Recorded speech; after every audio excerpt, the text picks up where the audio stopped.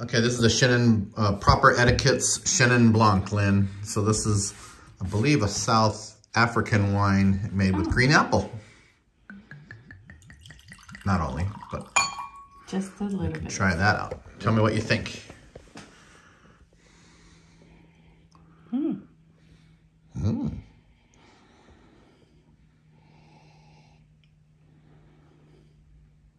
It smells bright. Bright? Yes, I don't know why. Well, taste it. bright, See if it tastes bright.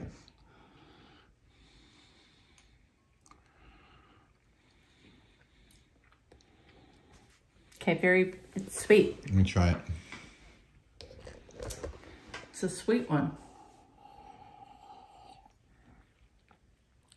Oh, wow. That's way sweet.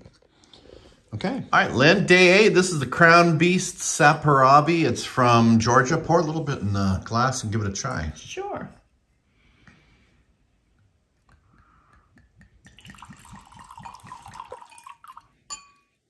Mm, nice. Tell me what you think. Well, let's see. Smell of mushrooms. Mushrooms. Yes, Put mushrooms in it. definitely smell mushrooms. It's a 60s wine?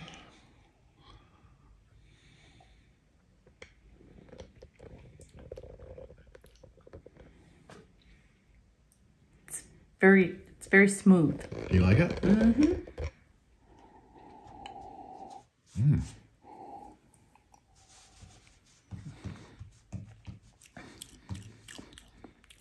You're right.